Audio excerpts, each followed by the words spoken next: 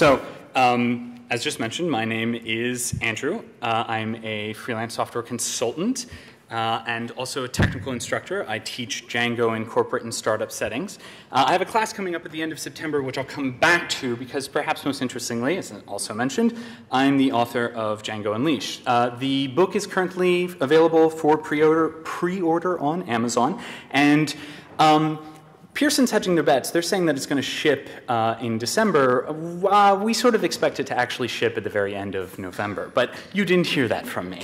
Uh, so the goal for today is to make it so that by the end of this talk, if you currently can't answer some of these questions, I want to make it so that you look at these questions and you go, oh, you know what? I got this. I know exactly how to answer these questions. And so the goal is to make it really easy to get through all of these. Um, we'll actually come back to the questions themselves. Uh, the talk itself is split into three totally unequal parts. Uh, we're going to start at the very beginning with the largest section, and it's essentially trying to define the problem and understand the high level concepts that allow for the solution. We're then going to actually examine the solutions, uh, possible solutions, and see how to interact with them. And then finally, the smallest section is going to be a little bit about the tools that might help you ease the, the solution process.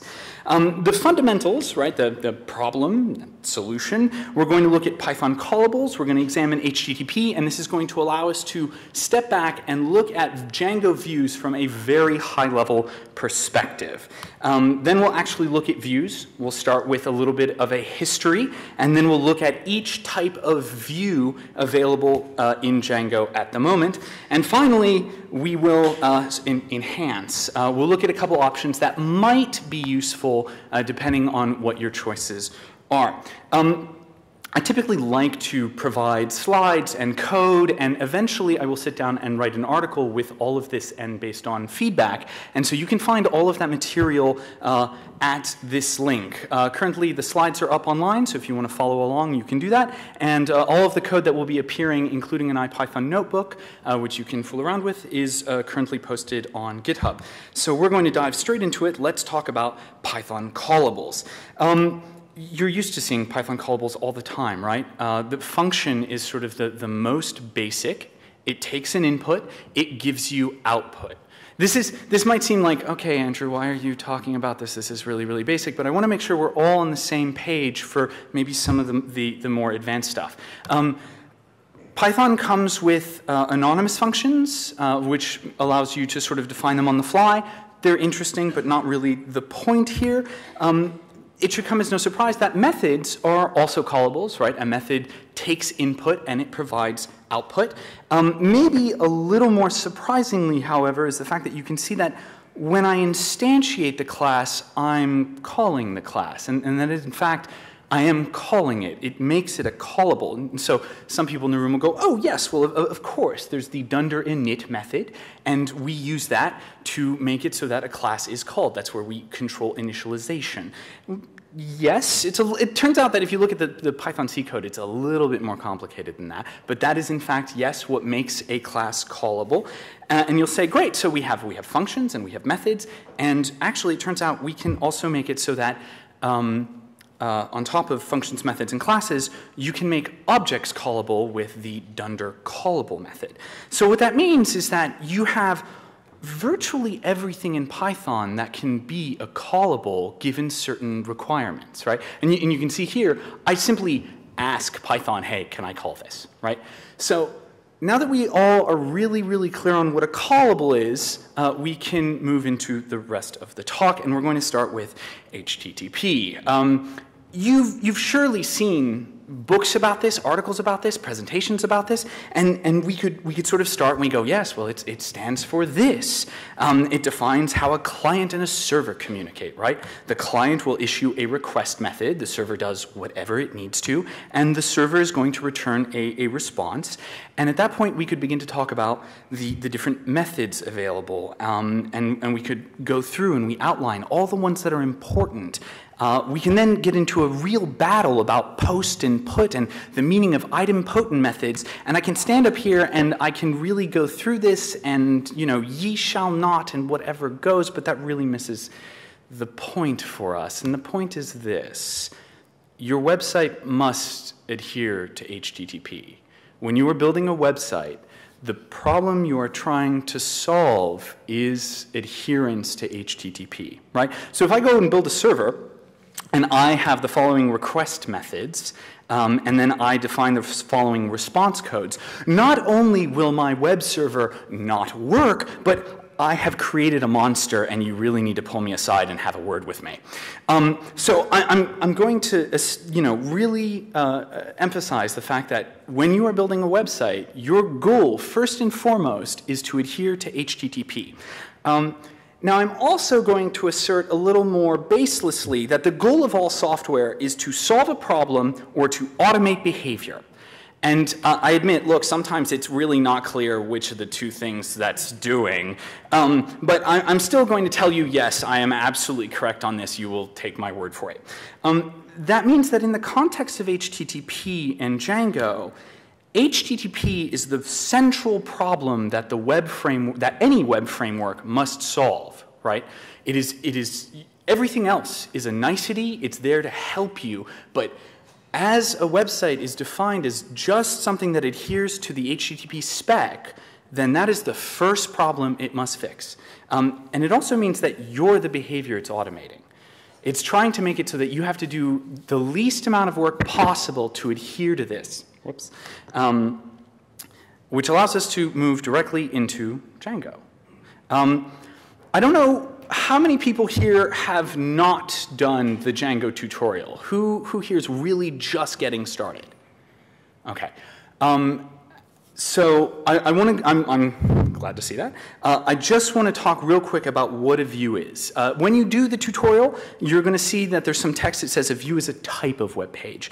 Um, Russell Keith-Magee two years ago at DjangoCon said views are for displaying content. I'm going to go so far as to say that it's dynamic generation of content, right? The Washington Post is a collection of web pages.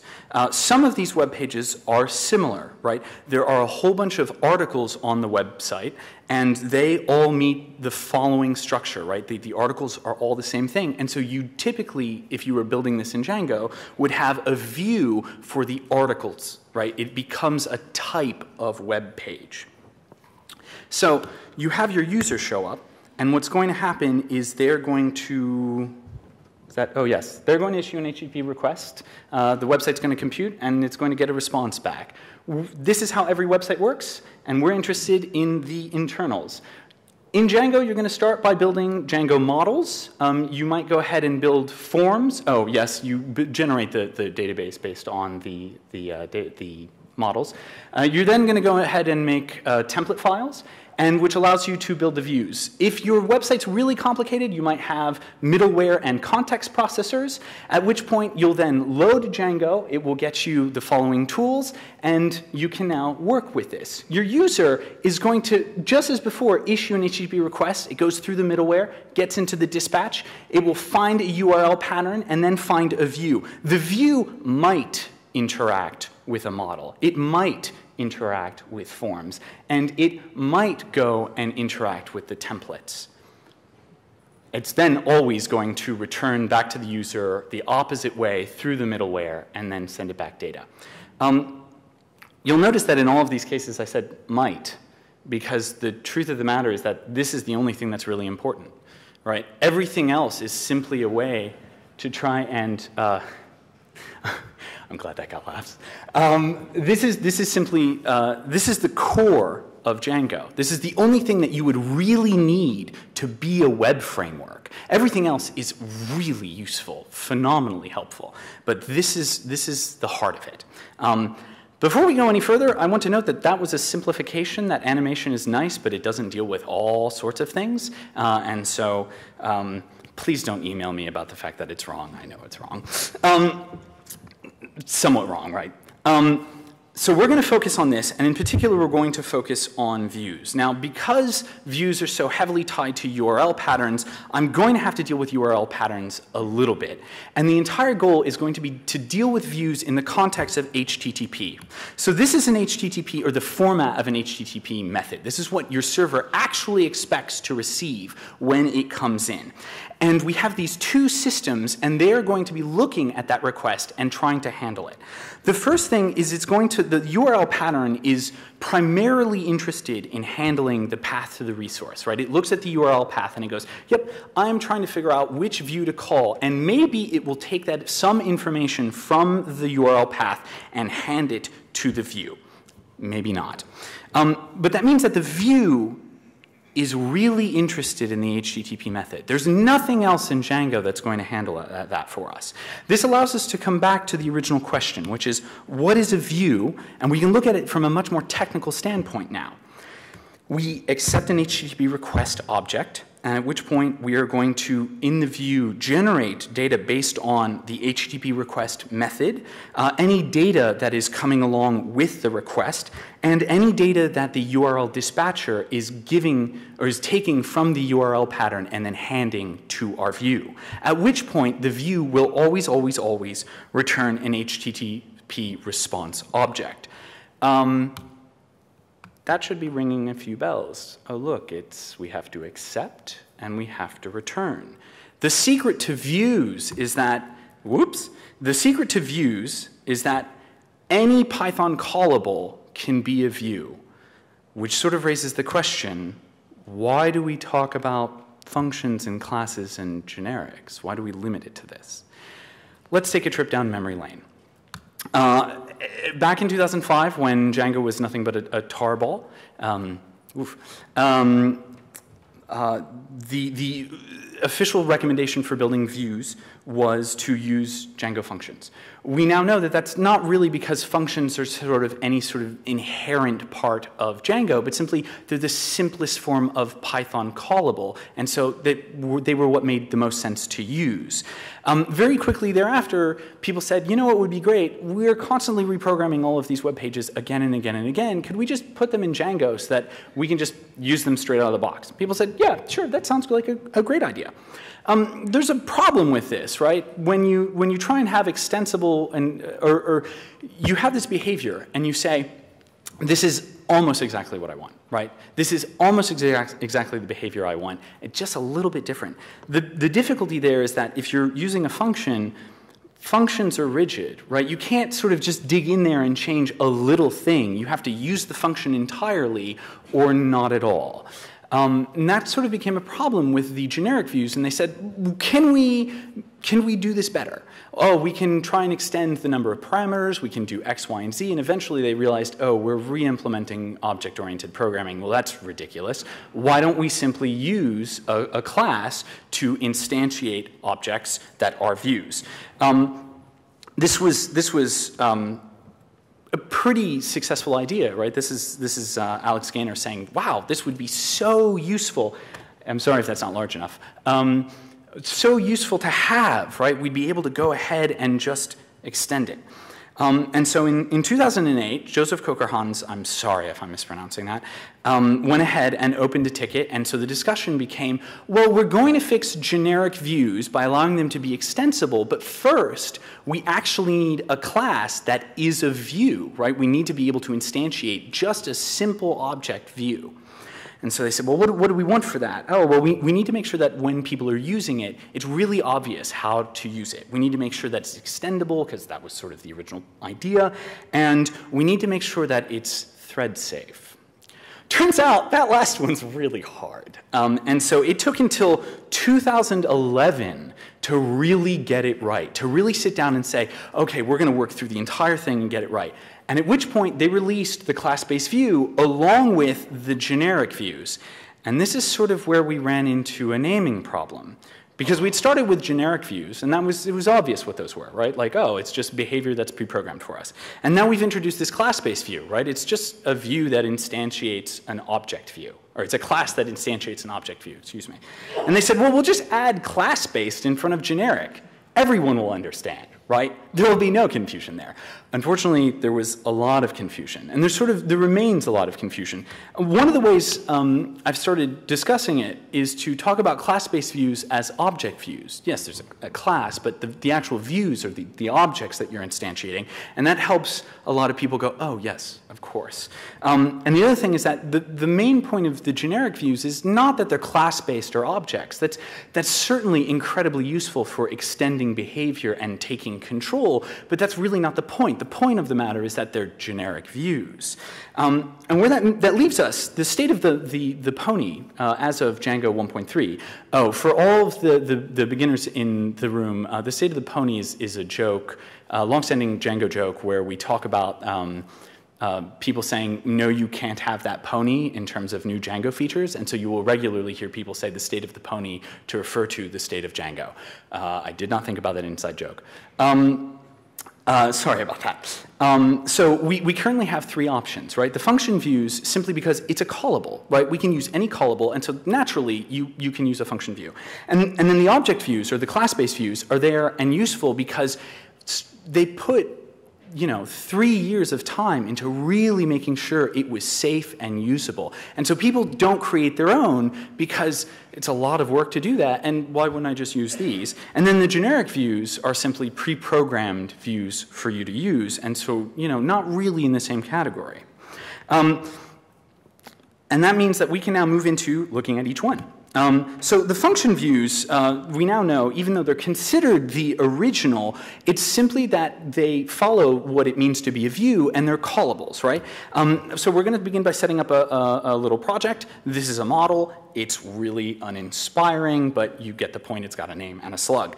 Um, because I can't get away from building views without a URL uh, pattern, I'm going to go ahead and build a URL pattern. It's going to call my view, and it takes in a single parameter uh, called the slug.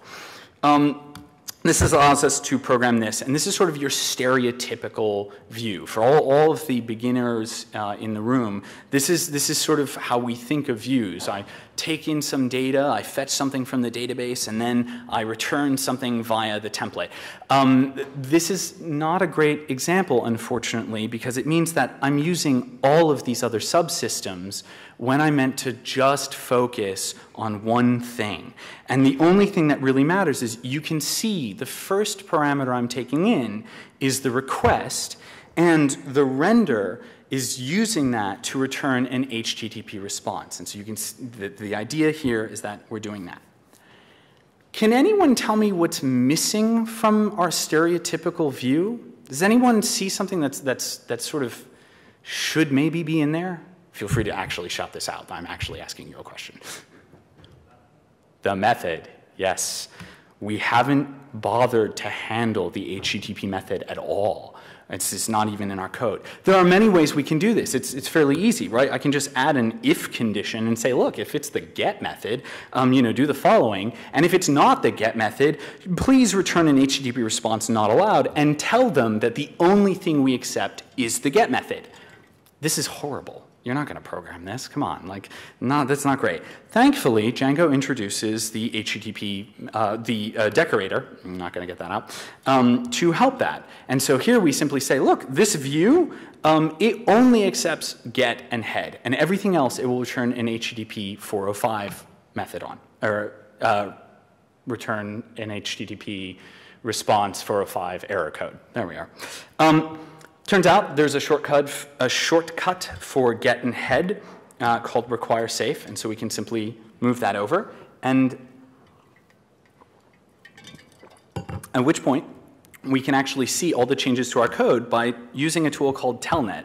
You can actually write the, HTTP, the uh, request directly in your command line uh, if you're running a server. This is actually kind of fun, right? So I'm actually typing in get a path, and it is returning this data to me, and I can see, oh yeah, that it, it expects that, and it gave that stuff back to me. if I give it a, a, method that is, it's not expecting, like options, it's going to say, nope, I have no idea what this is, I'm not programmed to handle this, and uh, what I can tell you is that uh, I can handle get and head. You can see that on the third line from the bottom. Um, you'll notice that throughout this talk, I'm going to avoid uh, post, uh, even though it's commonly used, because the CSRF middleware is going to get in the way and simply kind of interject itself and go, hi, by the way, you're not being secure. Um, if you were to disable it, you would get a 4 or 5 error. Please don't disable it unless you really, really, really know what you're doing. Um, we're going to go through and we're just going to create another view just to see a, a slightly different case. Um, so here is uh, just another URL pattern, and here is a view. And you'll go, oh, look, this is for handling forms. And we say, oh, okay, so if it's a post, I behave a specific way, and if it's not a post, you know, I expect a get, and uh, I, I, behave a, a different way. Um, that's like showing up at your 24-hour diner, and 90% of the time, you're going to say, yes, I would like the scrambled eggs, and you're going to, so people are going to, to ask for scrambled eggs 90% of the time, and so you're just going to give them scrambled eggs. But you're also, for 10% of the time, giving the people who are asking for hamburger or the hash browns scrambled eggs. That's really frustrating, and you're probably not going to do well with that crowd. And so even though you're handling post, you're not actually handling any of the other HTTP methods, right? You, you can see that it's, um, I sort of brought a laser, no, it's not working. Um, you can see that the, the topmost condition there, the else, simply says else. Doesn't check for any other HTTP method. And that's, that's not so great. So even if you're partially handling the HTTP method, you really do want to think about whether you're handling all of them.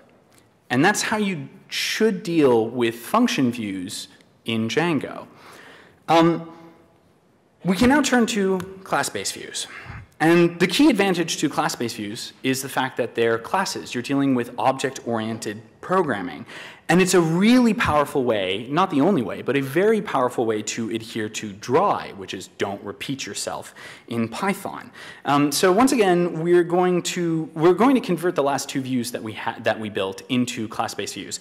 Um, I have to deal with the URL pattern. I can't go into I don't have enough time to, to go into detail as to why I'm changing this.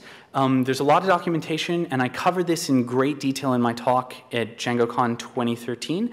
The bottom line is you'll have to believe me for the moment that I have to make this change for this to work. Um, we can then actually look at our code, and the first thing I'm going to do is get rid of the decorator. It's gone. I don't need it. The next thing I'm going to do is change the name of this function to get, and I'm going to add self in anticipation of having this as a class. I indent, and I, I put it under a class. That is the only difference right? It is exactly the same thing, except it is now it now has a, a class that it belongs to and is now a method. Um, there is, however, a huge amount of beauty to this because it makes explicit the problem you are trying to solve. This code only works if an HTTP GET method is used, and everything else is not handled, or rather will return a 405 error. Um, almost everything. As it turns out, class-based views are kind of neat. Uh, if you give them a get method, they will automatically give you head method handling, and it will also always give you option handling, which is really, really cool and much better than what you're getting with, with the function views. Um, the same thing is, is sort of similar when we come back to our, our form view and we say, oh, okay, well, we need to do a little bit more here because what we actually wanted was get and post. And so we can go ahead and create two methods for the class-based views. And we're going to go ahead and define a bunch of attributes. The get method is completely uninteresting, right? I take input, I, I provide output to a page. Not the code is not really the point, input, output, just the get method. And with post, it's sort of the same thing. You handle the form however you need to, but the bottom line is that this is behavior that is defined only for the post method. Um, and of course, you're getting options and head because of the way we've, we've built this. This is, um, very different from what we had originally. And one of the, the things that I found um, with beginners is if you, if you look at this as a beginner, it's, it's kind of a lot to take in. You go, well, there's an if condition, but then there's a second if condition, and there's this implicit return that has multiple behavior. And when I ask people taking my class, how many behaviors do you think is in here? The answers I typically get are either two or four, when the truth if you look here, is that there are three, and that becomes much easier to see in this context. Um, so CBVs, despite the fact that we say, or class-based views, despite the fact that we say are more complicated and take a little bit more of co more code, can actually be used in certain contexts in really interesting, very helpful ways. Um, so part of this, if you're totally new, you may not know why I'm defending these uh, quite so much. There's a certain uh, when they were introduced, because of the confusion around them, a lot of people said, well, they're, they're, not worth using at all or ever. And so part of my position is, wait, these are a tool, and tools do have purposes and can be used in certain contexts as long as you understand what the tool does and when those contexts are. So I'm just trying to provide when and the context. Um, this allows us to sort of look at the, the, the odd um, view set in, in the game, which are the generic class-based views. And I'm, I'm just going to dive right in because there's so much here. And you can see that this is all of model detail now right? I've completely removed the get method. It's, it's nowhere. I'm just sort of in, invocating this. Um, and this, is, this is, feels awful because you're looking at this and you're like, well, wait, this is like a game of Mad Libs. How do I know what to fill in or how to fill it in? And this gets even worse with, with the model create. I've removed get and I've removed post, but the attributes are exactly the same as they were before. And I mean, at least you have some small comfort in saying, well, it's exactly the way it worked before, right, Andrew? No, it isn't. No, and, and that's sort of the problem is, is suddenly on our new form, we now have the put verb which has been instantiated. And you go, okay, well, hold on, let me, let me sit back and go through this. What does this look like? That's the actual graph of how all of the generic views are related. It's really kind of insane. And when I gave my talk at DjangoCon 2013, this is the image that I presented. Um, you feel, you take so much time going, oh, I have no idea what I'm doing. I don't understand. The point really wasn't that it's a terrible idea because if you start using generic views, it turns you into a real powerhouse. I mean, you can become a supercoder. You will leave websites in your wake. The problem is, is that you spend so much time doing stuff that doesn't make any sense to try and get there that it can be really frustrating. There are tools that are very helpful, and we'll come back to this one. But the idea for um, the idea here is that if you're a beginner, the idea was that by having these be classes, we would be able to go ahead and extend them. And by overcomplicating them, it's, it's become a bit of a problem because beginners go, well, how do I extend them? How do I learn how to go about them? And unfortunately, my advice is that if you're a beginner, don't, right? Try and use them. If you see that there is a generic class-based view that does exactly what you want, use it. See how you just get it to do exactly what it was built for. If you then, once you've become comfortable with that, then begin to go, oh, okay, well, maybe I can begin to look at the methods. Uh, there, there's this thing that happens, uh, you can see it on the mailing list, I see it a lot in my classes, where people go, oh, I would like to use the following generic view to do X, Y, and Z. And the answer is always, well, yes, you can do that, but there are better options for how you can go about building that. I really thought that was going to get more laughs. Really? Um, it's nice to see a little contingency over there. Okay. Um, and so that's, that's the thing, is that with, with generic views, yes, you can absolutely customize them to do whatever it is that you want, but maybe it's not always the best idea to do that. And unfortunately, the only way to figure that out is to get familiar with them, and that's sort of unfortunate. Um, so, now that we understand really how all of these work, uh, how do we sort of tackle the problem of using and building views?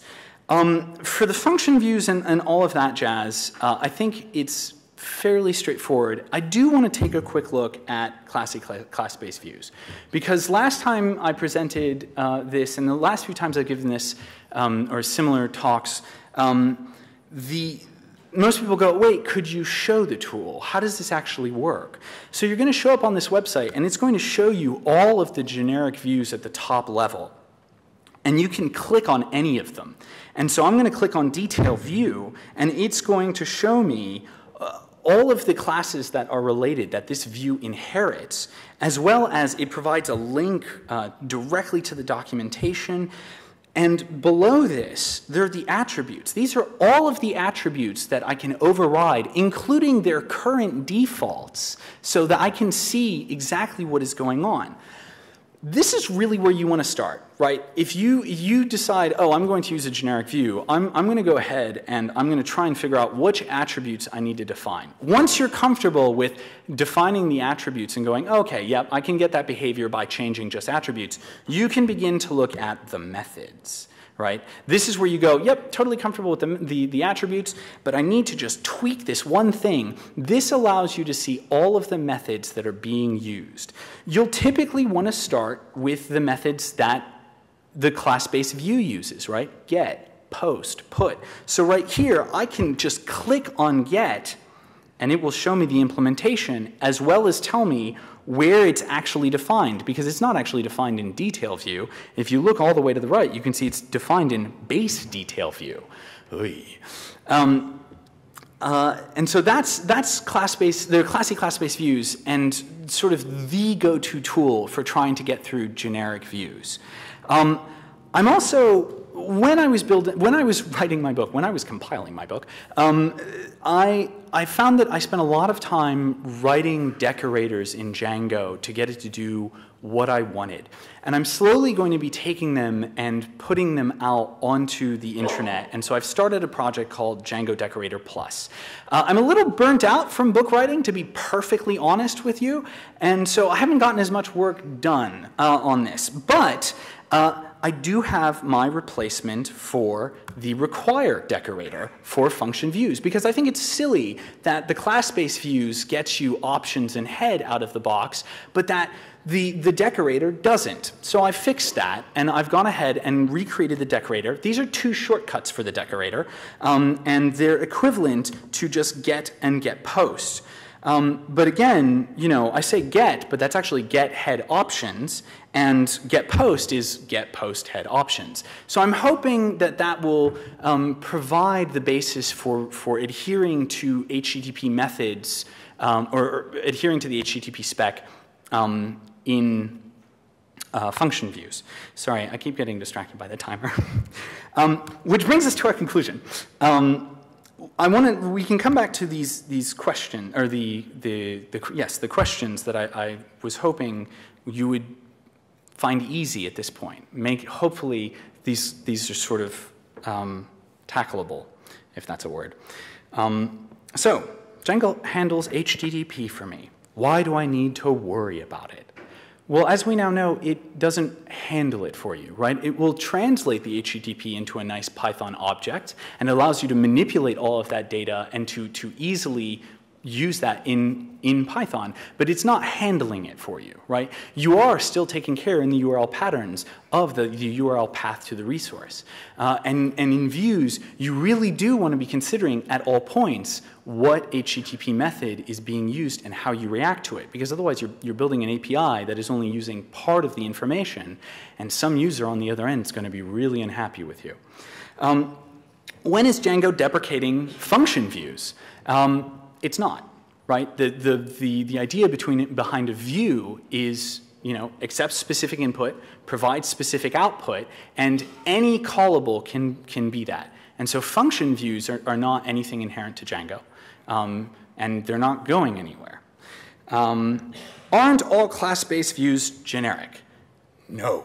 Um, hopefully, the, the walk through history helps um, split the difference, right? The idea is we have generic views, and that is very much its own concept, and then we have object views, and that is very much its own concept. And we, th there is some discussion about whether each one solves the problem it was designed to solve. And those are valid conversations to have, but it's difficult to have that conversation if people continue to confuse the two. Um, finally, how do I choose what kind of view to use? This is, this is easily the, the hardest question on here. Um, and I have a set of questions that I ask myself whenever I'm building a view. And the first is, is there a generic view that does exactly what I want or almost what I want? And can I simply plug into it? If yes, use a generic view, right? That's, you know, it's there for just that. If there isn't, you're sort of left with the choice between a class-based view and a function-based view. But we now know that they're essentially equivalent. The only reason that you might want to use a class-based view is if you have behavior that is shared across multiple views, at which point using object-oriented programming is incredibly helpful. But if you don't, it's entirely up to your preference, right? You could use function views or class-based views. It doesn't really matter. Um, which brings me to sort of the key takeaways. The view is Django's solution to handling HTTP. Um, all views are callable, call, or Python callables, doesn't matter. Um, please use the require HTTP methods if you are using uh, function methods, or at least consider how you're handling HTTP methods. Um, and finally, um, please think of the two concepts of generic views and class-based views as very different, very separate. Um, Thank you very much all for coming. I hope this was helpful.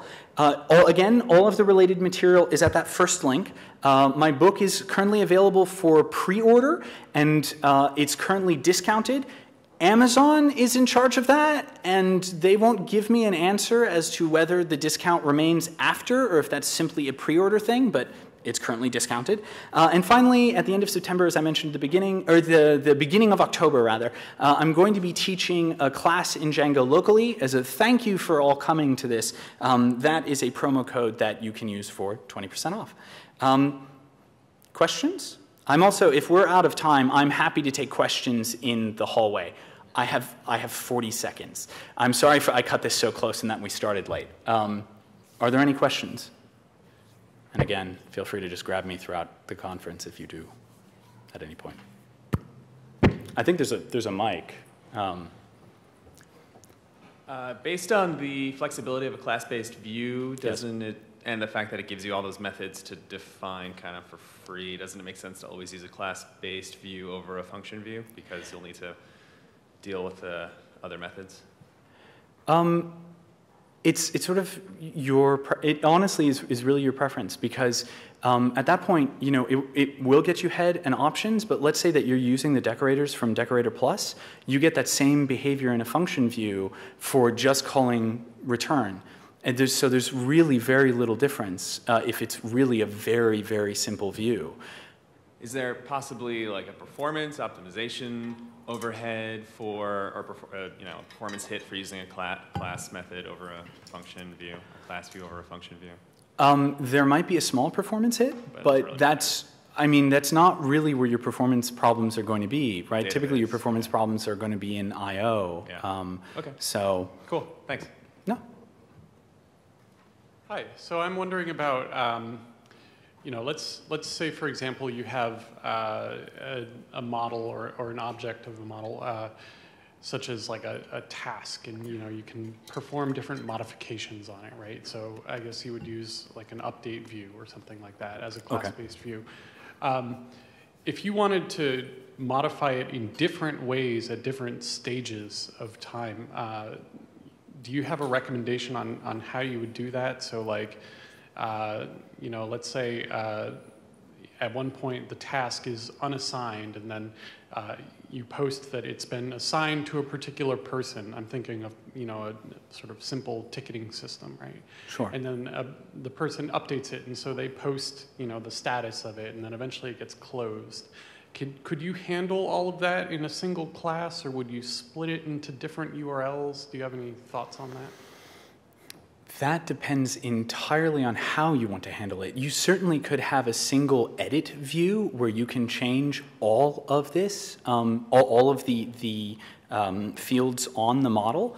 Um, you certainly could have multiple, right? You, you might just have one where you click on it and it immediately updates and changes a status uh, flag. Um, so it's sort of up, up to you. Um, I may be misunderstanding the, the question, though. I'm not super clear on all the details. Um, I'm happy to talk about it afterwards. Um, thank you all very, very much for coming. I hope that was helpful. Feel free to grab me uh, during the conference if you have any questions. Thank you again.